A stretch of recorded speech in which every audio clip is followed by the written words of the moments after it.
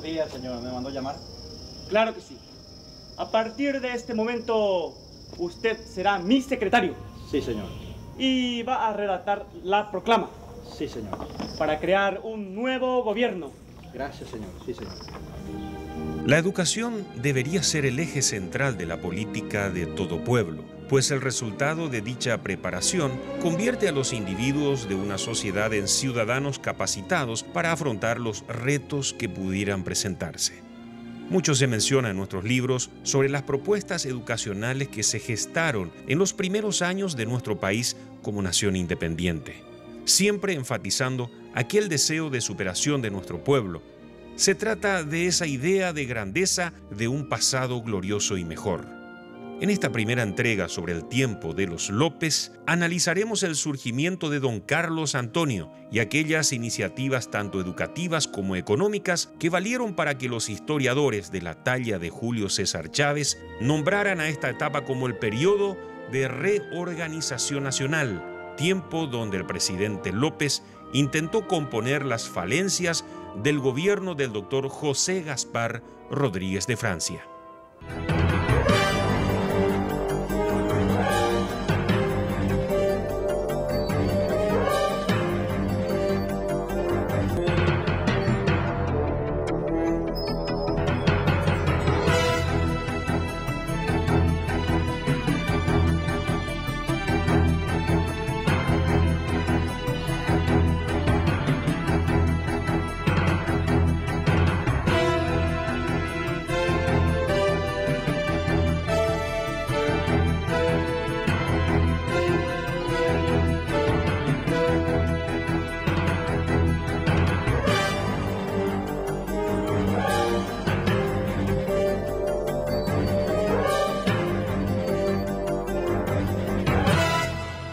Tras el fallecimiento del dictador Francia, ocurrido el 20 de septiembre de 1840, de inmediato los comandantes de los cuarteles se reunieron para debatir sobre el traspaso del mando. Como Francia no dejó herederos políticos, pensaron que los mejores hombres para gobernar serían ellos. De esta manera se conformó una junta provisional, presidida por el alcalde Manuel Antonio Ortiz y los comandantes de los cuatro cuarteles de la ciudad, el capitán Agustín Cañete y los tenientes Ramón Maldonado, Pablo Pereira y Gavino Arroyo. La misión fundamental de este nuevo gobierno fue la de convocar a un Congreso General, el cual no se reunía desde 1816. A pesar de ello, los miembros de la Junta se mostraban muy reacios en realizar la convocatoria. Esta indeterminación originó serias quejas públicas, las cuales aumentaron con el transcurso de los días.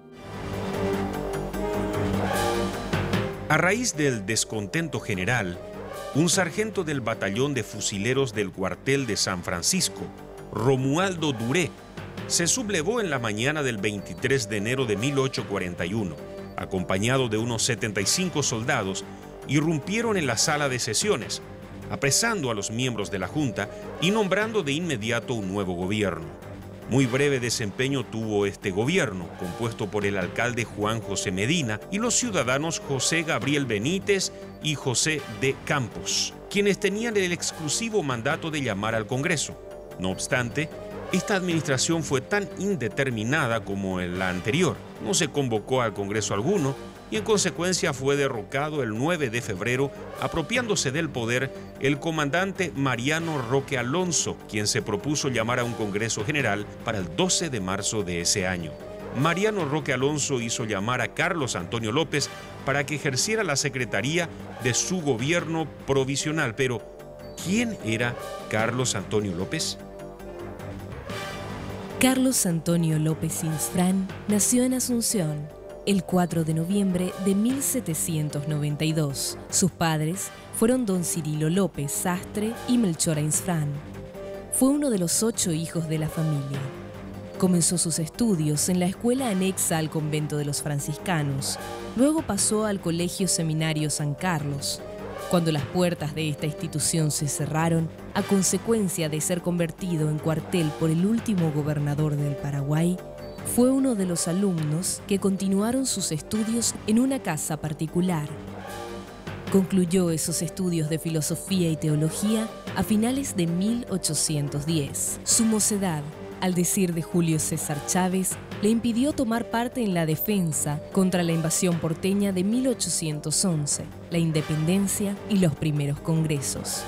En 1814 ganó por oposición el derecho de regentear la Cátedra de Artes. Tres años más tarde, es llamado a dictar también las de teología. Estas actividades lo consagraron como un destacado docente, pero cuando el Colegio San Carlos fue clausurado en 1819, se ve obligado a abandonar dicha actividad. Decide dedicarse a la jurisprudencia, profesión en la cual rápidamente se destacó. En 1821, un cargamento de armas que venía a nuestro país fue confiscado por el gobernador de Santa Fe. En desquite, el dictador Francia mandó apresar a 18 ciudadanos santafesinos residentes en Asunción. Como ninguna de estas personas sabía el motivo de su reclusión, uno de ellos, Marcos Ancina, solicitó a Carlos Antonio que le redactara una nota dirigida al doctor Francia. Con aquella acción se jugaba la vida en pos de una causa justa. Tras el endurecimiento del dictador por el descubrimiento de la conjura de 1820, don Carlos decidió retirarse a vivir con su familia en La Recoleta. Su vida pública como abogado se redujo considerablemente.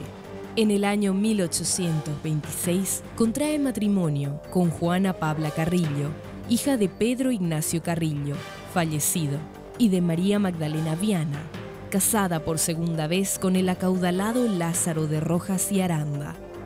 Doña Juana recibió de su padrastro una estancia en Villa del Rosario, establecimiento que pasó a ser administrado por Carlos Antonio, quien según algunos hizo progresar la finca. Don Carlos de esta manera solo viajaba a la capital por motivos de negocios, volviendo a su establecimiento.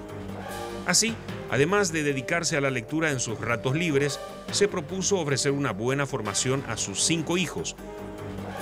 De todas formas, igual seguía asistiendo con consejos legales a quienes se lo solicitaban. Carlos Washburn escribe que debido a la astucia e inteligencia de uno de sus escritos, el dictador lo confinó a su estancia.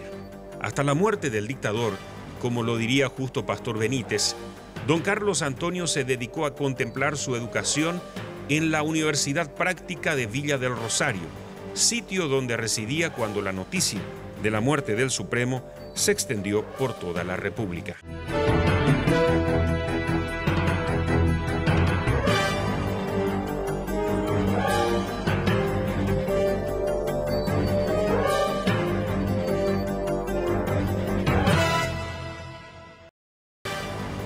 A finales de 1840, y ante el disgusto que se vivía en Asunción por la inacción de la Junta Provisional en llamar a un Congreso, los militares que la presidían decidieron llamar a don Carlos para solicitarle consejo. Este no dudó en acudir haciéndolo a mediados de noviembre. López no titubeó en aconsejar que la única forma de serenar los ánimos era llamando a Congreso lo antes posible, pero esta idea fue resistida por los integrantes de la Junta. Este gobierno fue derrocado el 23 de enero de 1841 y el que lo reemplazó corrió la misma suerte siendo removido el 9 de febrero, también por vacilar en convocar al tan aclamado Congreso. El golpe del 9 de febrero fue comandado por Mariano Roque Alonso, un joven oficial subalterno que se autodenominó general de armas. Carlos Antonio López fue designado su secretario y desde ese momento su participación en el gobierno paraguayo no cesaría hasta su muerte. Durante el tiempo de preparación del Congreso, las discusiones con los militares sobre el futuro de la nación fueron intensas. Los militares, en su mayoría formados por el propio Francia, eran partidarios del aislamiento. Además, los que eran acérrimos francistas tenían a su candidato, el delegado de Misiones, don Norberto Ortellado. El supremo dictador no había dejado sucesor y entonces, y se negó a hacerlo el médico Estigarribia hasta el último momento, según testimonios, procuró que él deje un sucesor. Y entonces lo último que dijo fue, mis soldados son mis herederos. Entonces viene la primera junta provisoria fracasa justamente por no llamar a Congreso, el pueblo exige el Congreso, viene la, eh, y de la segunda eh, con el levantamiento de Romualdo Duré. Cuando muere Francia hay una crisis institucional porque eh, ¿cómo va a ser la sucesión? El pueblo clama por un Congreso para elegir la autoridad y se forman varias juntas de gobierno encabezadas justamente por los comandantes de los cuarteles, eh, que en realidad ponían un cabildante, que era el órgano gubernativo que venía de la colonia, ¿verdad? como cabeza de esas juntas, pero en realidad eran los jefes de los cuarteles los que manejaban la, vamos a decir, los hilos del poder a la caída de, de Francia, la muerte de Francia. Se formaron varias, varias juntas de gobierno, era posterior a la muerte de Francia, y un, un proceso de ingobernabilidad que al final fue, vamos a decir, zanjado por Mariano Roque Alonso cuando él se apoderó del poder y llamó al Congreso en 1841. Como el secretario lleva a Carlos Antonio López, a partir de allí empieza a demostrar don Carlos su habilidad, porque al establecer eh, Francia que sus soldados eran sus herederos, estos querían, exigían el poder. Y hace dos cosas fundamentales. Primero, establece en el 41, cuando se llama a Congreso, eh, una dupla que soluciona la ambición de los militares. Entonces, eh, la dupla es Carlos Antonio López y Mariano Roque Alonso. Entonces, esa dupla soluciona la ambición de los militares y hace otro paso más. Como establecía, los militares son mis herederos, él le da esto monetariamente. De lo que quedó de los sueldos del, del dictador, una parte entonces se le da a los militares. Entonces, él tuvo un desafío fundamental y antes del Congreso del 41 tuvo otro problema. Eh, quería nombrar eh, como presidente al eh, delegado de misiones, creo que era Hortellado. Y entonces, fíjense cómo don Carlos conoce nuestra cultura. Empieza a desparramar un rumor, que es el típico web. Entonces, ese eh, el que llamamos, y donde eh, empieza a hacer creer al pueblo que él fue dejado, como sucesor por el doctor Francia. Entonces, para contrarrestar con fuerza esa pretensión de los militares, él tuvo sus eh, problemas políticos y los solucionó con bastante habilidad. Finalmente, el Congreso de 1841 se reunió el 12 de marzo. López es elegido presidente de la reunión por el colegiado. Era la primera vez en 25 años que el Congreso se reunía y los perseguidos por Francia no tardaron en parlamentar sus deseos de un Paraguay sin gobiernos personalistas. Entre ellos se encontraba el prócer Juan Bautista Rivarola, de más de 50 años, uno de los pocos que lograron sobrevivir a la cárcel de los tiempos del dictador. Rivarola planteó la redacción de una constitución para así crear garantías ciudadanas e implantar un gobierno más tolerante, que según sus palabras era lo que el Paraguay necesitaba después de una larga tiranía. López replicó, No son tiempos oportunos para dictar una constitución. Las circunstancias críticas en que se halla el país, pobre y falto de personas habilitadas e instruidas, torna necesario la creación de un poder asaz, fuerte, para mantener el orden y la tranquilidad pública. Después no se discutió más del tema, pues los militares hostigaron con su presencia a los que tenían ideas constitucionales. Entre las disposiciones más relevantes del Congreso estuvieron el poder para el futuro gobierno, de iniciar las tratativas para establecer diplomacia con los países vecinos, liberar la navegación, si era necesaria para el comercio, hasta Villa del Pilar y la elección de Alonso y López como cónsules de la República del Paraguay por un periodo de tres años. Se planteaba un cónsul militar y un cónsul civil.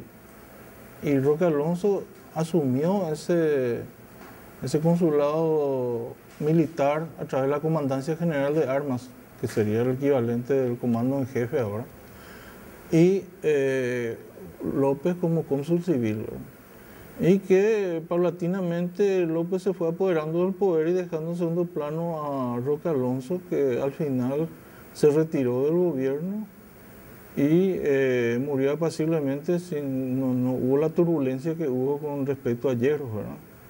Es decir, que fue una transición un poco más suave que lo que había ocurrido con, con Francia. Lo bueno de Francia fue esa eh, unidad nacional y entonces a partir de eso también la, el gobierno de don Carlos tiene un fin, que es sostener la independencia nacional. Entonces lleva una unidad política y social. Alonso impuso orden al ejército, eh, trató de reorganizarlo, quizás no por completo, pero era un ejército totalmente indisciplinado el que, el que apareció después de la época de Francia, el que nos heredó el gobierno de Francia. Era un ejército mal preparado, mal disciplinado, mal dirigido y eso trató en cierta medida de paliar Roca Alonso, reorganizando el ejército, creando nuevos presidios o fortalezas, como se llamaban en esa época. Una de las primeras dificultades que se encuentran los nuevos eh, gobernantes es la falta de personas preparadas para asumir las funciones públicas del Estado paraguayo. Y en vista de esta necesidad, eh, se crea la Academia Literaria, del año 1841, que en uno de sus artículos eh, se señala que sería la base de un futuro colegio nacional.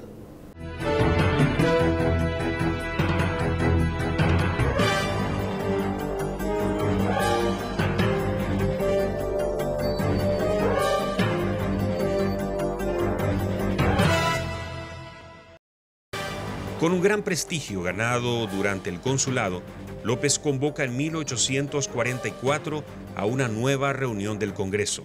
Teniendo presente que quería oportuno el tiempo de restablecer un gobierno unipersonal, propuso a los diputados reunidos un ordenamiento legal para el nuevo gobierno. Era la ley de administración política de la República del Paraguay. Reúne las condiciones una constitución tal como hoy la tenemos, ¿verdad?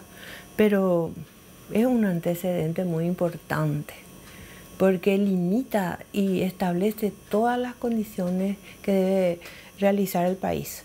Por ejemplo, no deja de lado la parte religiosa, la parte jurídica, eh, establece una, guía para el gobierno. Por ejemplo, establece eh, cómo tratar los bienes de la naturaleza. Y te puedo imaginar, ahora nuestra constitución habla de eso también, ¿verdad?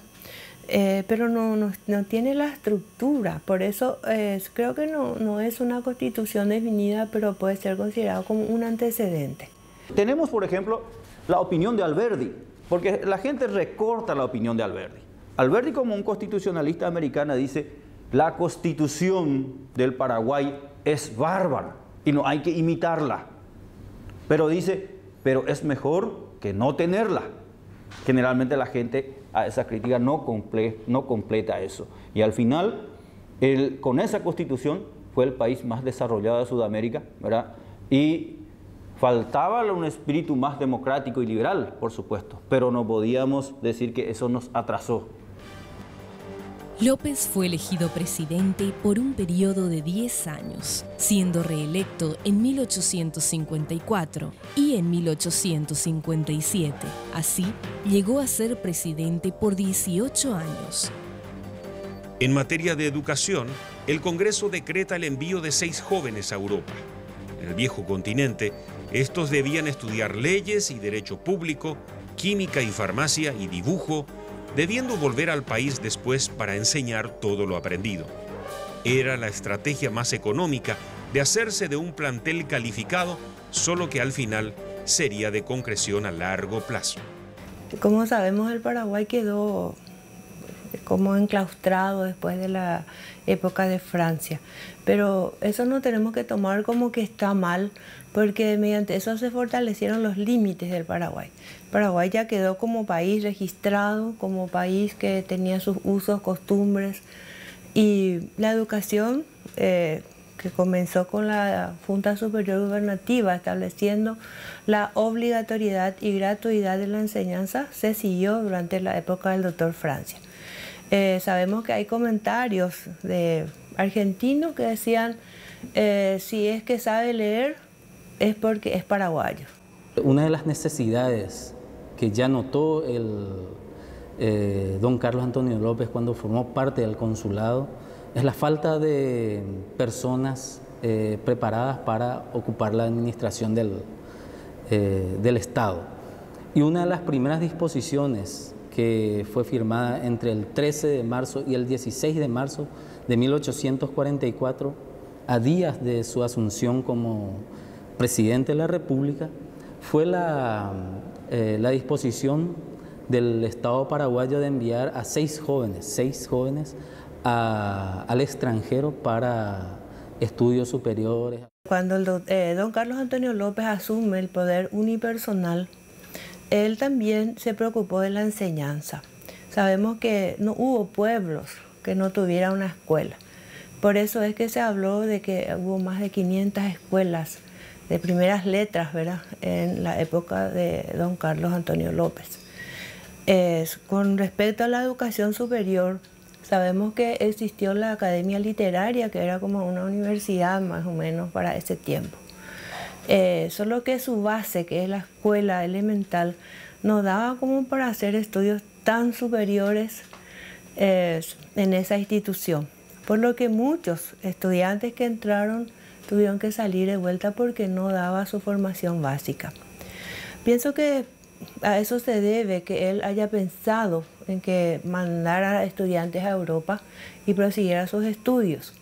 Esta ley de becas no pudo llevarse a cabo porque Buenos Aires exigía que estos jóvenes eh, salgan con pasaporte expedido por Buenos Aires, razón por la cual el gobierno paraguayo eh, tuvo que descartar el envío de jóvenes, 1844. Si el presidente Carlos Antonio López aceptaba que esos jóvenes eh, salgan con el pasaporte expedido por Buenos Aires, era reconocer tácitamente la dependencia de Buenos Aires.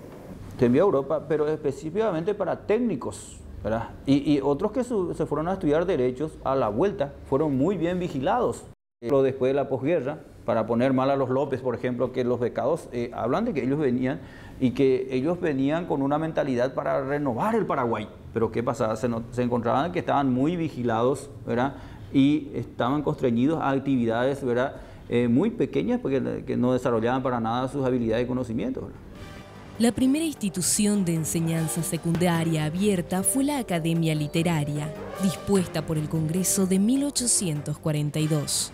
Fue una de las instituciones de ciencias mayores eh, eh, la principal de aquel tiempo.